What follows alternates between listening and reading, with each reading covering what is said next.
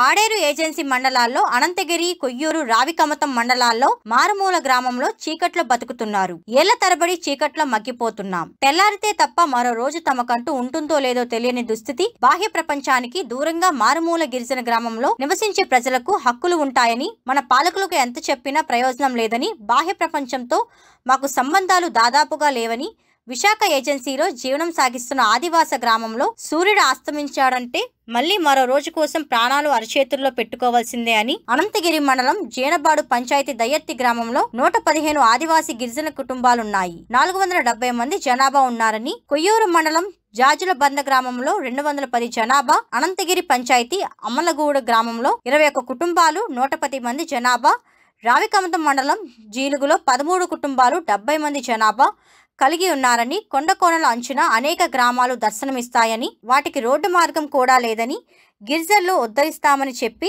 కేంద్ర రాష్ట్ర ప్రభుత్వాలు వంద శాతం విద్యుద్దీకరణ జరగాలని రెండు వేల పదమూడు పద్నాలుగు సంవత్సరాల్లో కరెంటు సౌకర్యం కల్పిస్తామని అధికారులు హామీ ఇచ్చారు.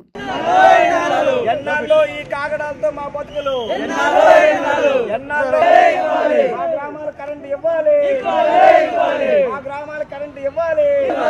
గ్రామాల కరెంట్ ఇవ్వాలి. మా బతుకులు? చీకటి బతుకులు? మా చీకటి బతుకులు? కల్పించాలి. కరెంట్ సౌకర్యం కల్పించాలి.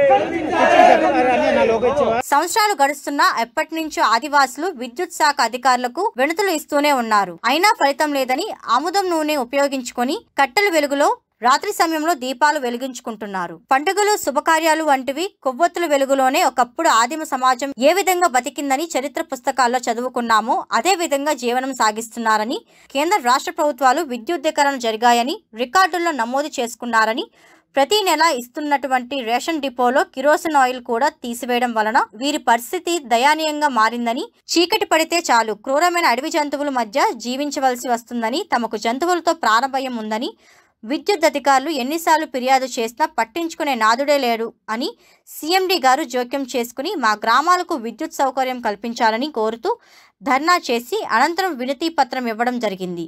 ఈ కార్యక్రమానికి సిపిఎం జిల్లా కార్యవర్గ సభ్యులు గిరిజన సంఘం నాయకులు తదితరులు పాల్గొన్నారు. నా పేరు శ్రీధర్ సుధాకర్ రావు అండి. మాది విశాఖ జిల్లా అనంతగిరి పంచాయతీ పరిధిలో డైరెక్ట్ గ్రామము.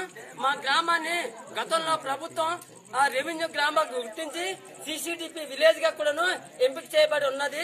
అందులోని సిసిడిపి పథకం కింద కొన్ని పథకాలైతే అమలు చేసింది కానీ అందులో ఆ స్కీములోని సిసిడిపి విలేజ్కి రావాల్సిన డబ్బులన్నీ కూడాను కదా కరెంటు కూడా అందులో జాబితాలో ఉన్నాయి. కానీ ఇప్పటి వరకు మా గ్రామంలోని ఇప్పటి వరకు విద్యుత్ సౌకర్యం కల్పించలేదు. ఆ విద్యుత్ సహకారం కల్పించలేదు. మేము రాత్రులు అయితే చూడండి మీరు గతంలో చూస్తూనే ఉన్నారు కదా ఇప్పటి వరకు ఇప్పుడు రాత్రి అయిందంటే ఈ టైం అయిందంటే మేము జంతువుల బారి నుండి విసర్ప బారి నుండి మీ కాపాడడానికి మా- మా ప్రాణాలను మీ పనంగా పెట్టాల్సి వస్తుంది. కాబట్టి ప్రభుత్వం స్పందించాలి. గతంలో పద్నాలుగు పంతొమ్మిది జనభూమి కార్యక్రమాలు కూడా మేము ఈ వినత పత్రాలు ఇచ్చాం. అలాగే ఇప్పటి వరకు మాకు ఊహ తెలిసినప్పటి నుండి ఇప్పటికి ఎంతమంది కలెక్టర్ అయితే ఉన్నారో అంతమంది కలెక్టర్లు కూడా మేము ఆ స్పందన కార్యక్రమం తెలియజేయడం జరిగింది. అలాగే ఎంతమంది ఐటీడీ పిఓలు అయితే మారారో అంతమంది ఐటీడీ పిఓలు కూడా మేము వినతి పత్రాలు సమర్పించాం. దానికి రిప్రజెంట్ రిటర్న్ కూడా రావడం జరిగింది.